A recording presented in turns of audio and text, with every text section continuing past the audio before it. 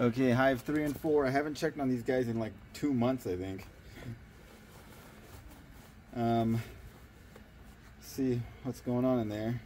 I'm guessing that the supers are full at this point, so I brought some more boxes to add to them.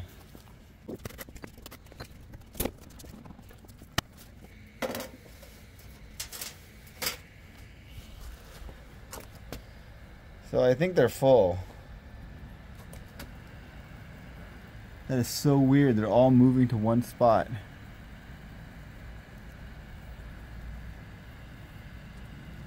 Huh, I don't know what's going on. This medium box on top was completely full. I didn't pull out any frames because I think they were capped and I didn't want to bother them too much. But I'm actually surprised they didn't swarm because I think they were pretty much honey bound.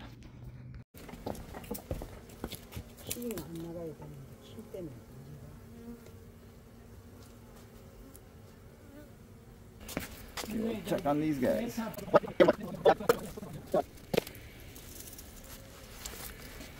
Okay, they look pretty full too. Okay. See what's happening.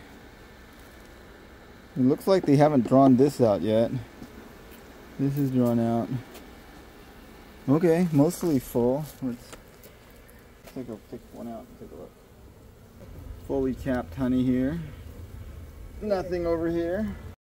What happened was most of this deep box was filled out. There were one or two frames that weren't completely filled, but I put a medium frame in there and they built underneath the medium frame and it was glued down to the bottom. So I had to like clean out some of that comb and, uh, and fix it.